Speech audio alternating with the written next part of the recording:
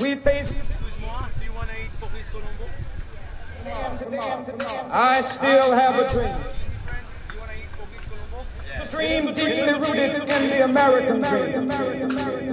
I have a dream. that One day,